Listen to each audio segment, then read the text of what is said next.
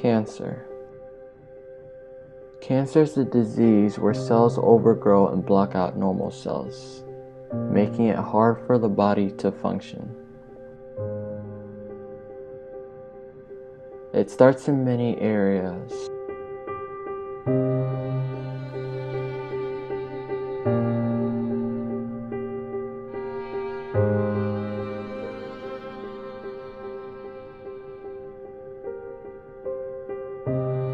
Some cancers spread rapidly, others more slowly. Today, there is an estimated 14 million people living with cancer in the world, and the number grows to this day. A hundred years ago, cancer was a terrifying thing. One in ten people diagnosed with cancer survived.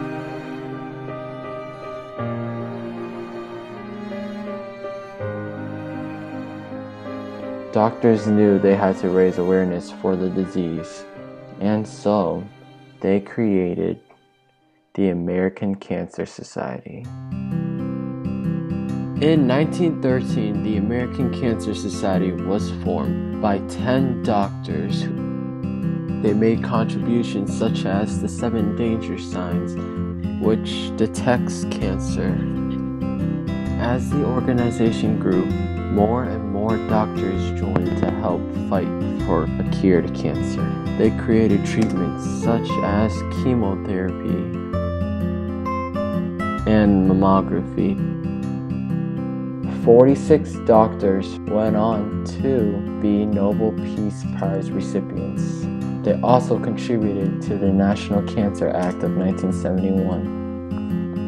Because of the contributions of the American Cancer Society, two in three people survive cancer today. How can you help? You can help by donating your time and your blood to the American Cancer Society. I, for one, have donated blood, and it was a very fun experience. You feel great, and you are helping a lot of people. Everyone deserves to live happy.